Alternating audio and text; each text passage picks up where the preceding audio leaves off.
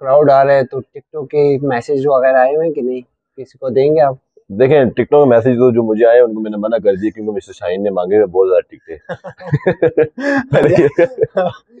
اسی کو دینے پڑے گے مجھے۔ اس نے پہلے ہی مجھ سے بک کروا لیے تھے ابو دیوی کے اندر۔ السلام علیکم۔ جیسا کہ آپ لوگوں کو پتہ ہے کہ ہم ڈربی میں اور ہماری الحمدللہ پریپریشن ہر چیز زبردست جاری ہے۔ آج ہمارے ساتھ ہے حارث روف اور بڑی اچھی گریٹ نیوز ملی ہے۔ میرا دوست حارث روف سی کیٹیگری میں آیا ہے آیا ہوا ہے اور اس سے آج تھوڑے سوال پوچھیں گے اس کی جرنی کے حوالے سے۔ سو حارث پہلے تو آپ کو بہت مبارک ہو کہ آپ سی کیٹیگری میں ہیں۔ تو آپ ذرا بتائیں کہ کیسا رہا آپ کا سفر میں ہاں بالکل الحمدللہ جس طرح ڈربی میں تھے اور ہمارا جس طرح ظاہری بات ہے اناؤنسمنٹ ہوئی بگ نیوز تھا ہمارے لیے۔ اور جس طرح میں لاسٹ ایئر ایمرجنگ کیٹیگری میں تھا اور ابھی اس سال مجھے سی کیٹیگری میں مجھے رکھا گیا ہے اور کافی خوش ہوں اور کوشش یہی ہے کہ اپنے آپ کو دن بدن امپروو کروں اور پاکستان کے لیے جتنا اچھا کروں گا ظاہری بات ہے جتنی پرفارمنسز دوں گا پاکستان کو جتواؤں گا تو اس حساب سے پھر آپ کی کیٹیگری انکریز ہوتی ہیں۔ ہوپ فلی ان شاء اللہ ٹارگیٹ تو ظاہری بات ہے بڑے بڑے ہوتے ہیں بس ان کو چھوٹے چھوٹے اچیومنٹ کے ساتھ ہی آپ ان کو طے کر سکتے ہو۔ جس طرح ابھی آپ ایک کیٹیگری میں ہو کوشش کروں گا کہ ایک کیٹیگری تک پہنچوں اور آپ سے پوچھوں گا یار آپ آپ ایک کیٹیگری تک کیسے پہنچی ہو؟ نہیں نہیں، انشاءاللہ آپ ضرور پہنچیں گے، ہماری نئی خواہشات دعائیں آپ کے ساتھ ہیں، انشاءاللہ۔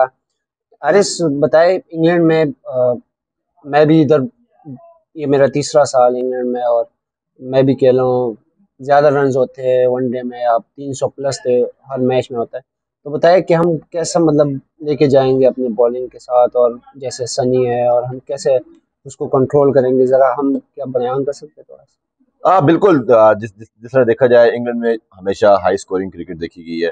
جس طرح ہماری جو لاسٹ سیریز ون ڈے ہوئی تھی، اور اس میں جس طرح ہائی اسکور ہوئے تھے، انہوں نے بھی تھری ہنڈریڈ پلس اسکور کر رہے تھری ففٹی ہماری بیٹنگ لائن بھی جس طرح اسکور کر رہی تھی۔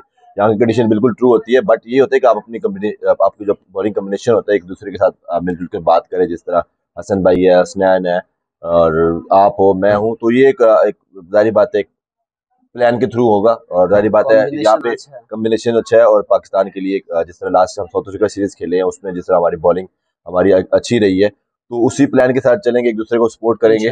اور باقی ظاہری بات ہے ہائی اسکورنگ وکٹ اسکور تو ہائی اسکور ہوتے ہیں بٹ آپ جتنا ان کو جلدی آؤٹ کرو۔ وکٹس لینا امپورٹنٹ ہے یہاں پہ۔ اگر آپ وکٹس لیتے ہو تو پارٹنرشپ کے ساتھ کریں گے پارٹنرشپ بالکل ایسا ہی ہے ان کی جو پارٹنرشپ ان کو ان کی بریک کرنی ہے۔ ان کو ہائی زیادہ لمبی پارٹنرشپ نہیں لگانی چاہیے۔ انگلینڈ میں ہم کھیلنے پچھلے سال کراؤڈ نہیں تھا ہم نے بہت مس کیا۔ اس دفعہ کراؤڈ ہوگا اور انگلینڈ میں کراؤڈ کے سامنے کھیلتے بہت مزہ آتا ہے۔ اور پاکستانی بہت آتے ہیں سپورٹ کرنے تو کیسی آپ کی فیلنگ ہوگی اور کیا ان کے لیے کوئی میسج ہے آپ کے لیے بالکل جس طرح میں لاسٹ ایئر کھیلا تھا انگلینڈ میں اور جس طرح کراؤڈ نہیں تھا میں کافی مس کیا تھا اور ویسے میں جب ٹی وی میں میچز دیکھتا تھا، جس طرح ورلڈ کپ کے میچز میں نے دیکھے تھے، تو جس طرح کراؤڈ آ کے پاکستان ٹیم کو سپورٹ کر رہا تھا، تو وہ چیزیں مس کر رہا تھا بٹ ابھی جس طرح الاؤ کیا ہوا ہے پاکستان کے کراؤڈ کو اور کافی انجوائے کریں گے۔ کراؤڈ کی وجہ سے ظاہری بات ہے اپنے اندر ایک کریز پیدا ہوتا ہے، یار کہ اچھی بالنگ کریں کراؤڈ کو خوش رکھیں۔ تو ان شاء اللہ ہوپ سو اس دفعہ پھر کراؤڈ ہمیں آئے گا اور سپورٹ کرے گا۔ کراؤڈ آ رہے ہیں تو ٹک ٹاک کے میسج وغیرہ آئے ہوئے ہیں کہ نہیں؟ کسی کو دیں گے آپ؟